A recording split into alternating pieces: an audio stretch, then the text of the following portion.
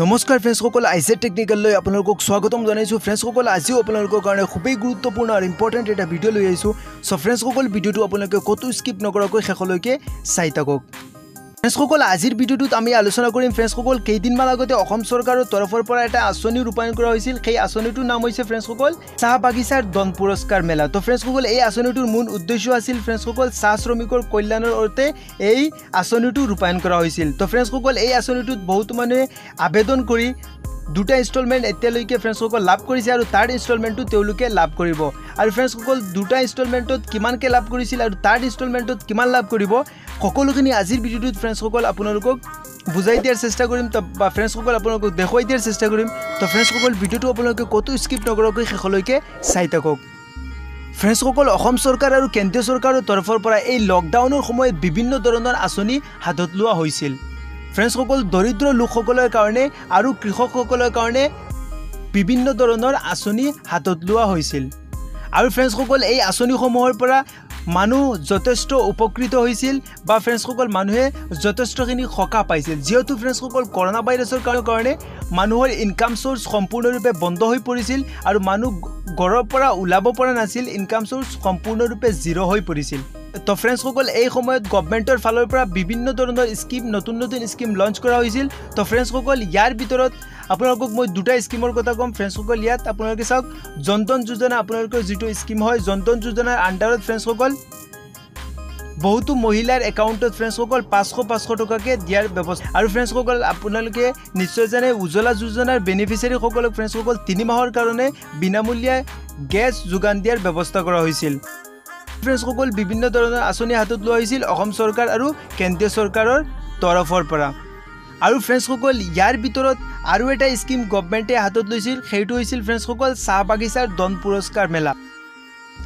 আৰু ফ্ৰেণ্ডসকল এই আঁচনিটোৰ অধীনত প্ৰায় সাত লাখ একৈছ হাজাৰ চাৰিশ পঁচাশীটা বেংক একাউণ্টত ফ্ৰেণ্ডসকল অসম চৰকাৰে দুই হাজাৰ পাঁচশকৈ দুটা কিস্তি মুকলি কৰি দিছিল। দুটা কিস্তি ইতিমধ্যে ফ্ৰেণ্ডসকল দিয়া হৈছে। তো ফ্ৰেণ্ডসকল এতিয়া আকৌ গভমেণ্টে সিদ্ধান্ত লৈছে যে যিসকলে আগতে ফ্ৰেণ্ডসকল দুই হাজাৰ পাঁচশকৈ দুটা ইনষ্টলমেণ্ট লাভ কৰিছে তেখেতসকলক ফ্ৰেণ্ডসকল আকৌ থাৰ্ড ইনষ্টলমেণ্টটো দিয়া হ'ব আৰু ফ্ৰেণ্ডসকল তেওঁলোকে থাৰ্ড ইনষ্টলমেণ্টটো তিনি হাজাৰকৈ পাব। দুই হাজাৰ পাঁচশৰ সলনি ফ্ৰেণ্ডসকল এতিয়া তিনি হাজাৰ টকা তেওঁলোকক দিয়া হ'ব। সকল এতিয়া মই আপোনালোকক দেখুৱাম মাই গভ আছামৰ ফেচবুক পেজত এই কথাষাৰ ফ্ৰেণ্ডসকল পাব্লিছ কৰা হৈছে। মই আপোনালোকক প্ৰুফ কৰা আপোনালোকক মই দেখুৱাই দিবলৈ চেষ্টা কৰি আছোঁ।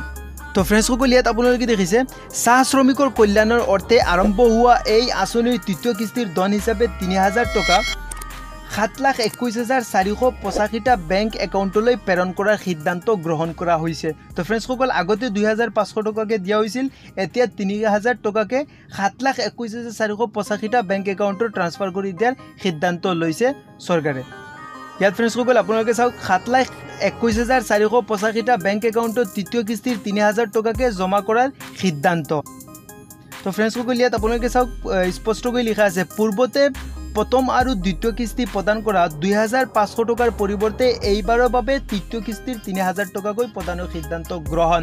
তো ফ্ৰেণ্ডসকল ইয়াত আপোনালোকে চাওক স্পষ্টকৈ লিখি দিয়া আছে ফ্ৰেণ্ডসকল পূৰ্বতে দুই হাজাৰ পাঁচশ টকাকৈ আপোনালোকে পাইছিল আৰু এতিয়া থাৰ্ড ইনষ্টলমেণ্টটো আপোনালোকক তিনি হাজাৰ টকাকৈ দিয়াৰ সিদ্ধান্ত লৈছে চৰকাৰে। তো ফ্ৰেণ্ডসকল আপোনালোক কোনোবাই যদি চাহ বাগিচাৰ দন পুৰস্কাৰ মেলাত আপোনালোকে আবেদন কৰিছিল বা এপ্লাই কৰিছিল তো ফ্ৰেণ্ডসকল এতিয়া আপোনালোকে দুই হাজাৰ পাঁচশৰ সলনি আপোনালোকক এতিয়া থাৰ্ড ইনষ্টলমেণ্টটো আপোনালোকক তিনি হাজাৰ টকাকৈ দিয়া হ'ব। তো ফ্ৰেণ্ডসকল ইয়াত আপোনালোকে চাওক সবিশেষ জানিবলৈ সংশ্লিষ্ট জিলা উপায়ুক্তৰ কাৰ্যালয়ৰ সৈতে যোগাযোগ কৰক। আৰু ফ্ৰেণ্ডসকল যদি আপোনালোকৰ কিবা জানিবলগীয়া আছে তেন্তে ফ্ৰেণ্ডসকল আপোনালোকে জিলা উপায়ুক্তৰ কাৰ্যালয়ৰ সৈতে যোগাযোগ কৰিবলৈ ইয়াত লিখি দিয়া হৈছে। তো ফ্ৰেণ্ডসকল আজিৰ ভিডিঅ'টোত আপোনালোকৰ কাৰণে এইটো ইনফৰ্মেশ্যন লৈ আহিছিলোঁ। আশা কৰিছোঁ ফ্ৰেণ্ডসকল আজিৰ ইনফৰ্মেশ্যনটো আপোনালোকৰ নিশ্চয় ভাল লাগিছে। যদি ফ্ৰেণ্ডসকল আজিৰ ইনফৰ্মেশ্যনটো বা আজিৰ এই ভিডিঅ'টো ভাল লাগিছে তেনেহ'লে ফ্ৰেণ্ডসকল ভিডিঅ'টোত এটা লাইক কৰিব। আৰু ফ্ৰেণ্ডসকল যদি আপোনালোকৰ কিবা জানিবলগীয়া আছে তেন্তে ফ্ৰেণ্ডসকল নিশ্চয় কমেণ্ট কৰি কমেণ্ট বক্সত জনাব পাৰে। আৰু ফ্ৰেণ্ডসকল যদি আপোনালোকে এতিয়ালৈকে আইজেড টেকনিকেল নামৰ ইউটিউব চেনেলটো ছাবস্ক্ৰাইব কৰা নাই তেনেহ'লে ছাবস্ক্ৰাইব কৰি লওক আৰু কাষতে থকা বেল আইকনটো প্ৰেছ কৰি লওক। যাতে ফ্ৰেণ্ডসকল মই যেতিয়াই এনেকুৱা টেকন'লজি আৰু ইনফৰ্মেশ্যন ৰিলেটেড ভিডিঅ' আপোনালোকৰ কাৰণে লৈ আহোঁ আপোনালোকে ভিডিঅ'বিলাক চাবলৈ পায় আৰু আপোনালোকৰ মোবাইল নটিফিকেশ্যন যায়। তো ফ্ৰেণ্ডসকল আপোনালোকে চেনেলটো ছাবস্ক্ৰাইব কৰি ল'ব তো ফ্ৰেণ্ডসকল আজিলৈ আহিছোঁ। নমস্কাৰ জয় অসম।